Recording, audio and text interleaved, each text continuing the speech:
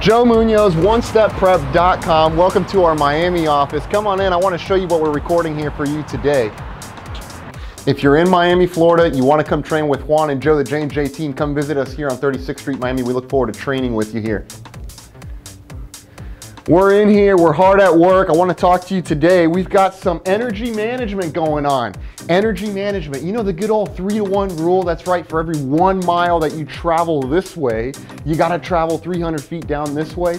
All that good stuff, how to use a speed brake, when is it appropriate to use a speed brake, right? So these concepts tend to get a little intricate when we introduce the complex operational environment where we have the air traffic controllers giving us speed restrictions, altitude restrictions, and we've got, well, traffic. In a simulator, it's only us training, but in real world, we've got traffic everywhere. I'm gonna talk in depth about that. We're recording this as an energy management course in excess of two hours, and I'm looking forward to seeing you in that course.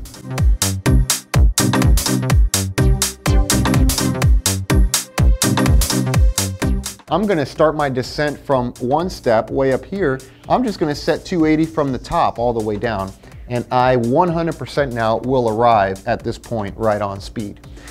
So once we hit prep 280 and 23,000, now the aircraft has to descend and cross energy at an altitude of, we said, 12,000. Let's say that we have a speed restriction here also of 250 knots. Well, remember the basic math that we saw a little bit earlier in this course not only do we now need to figure out how much altitude we need to lose, but we will also need to figure out how much additional space is needed in order to shed 30 knots from 280 to 250 knots. Yep.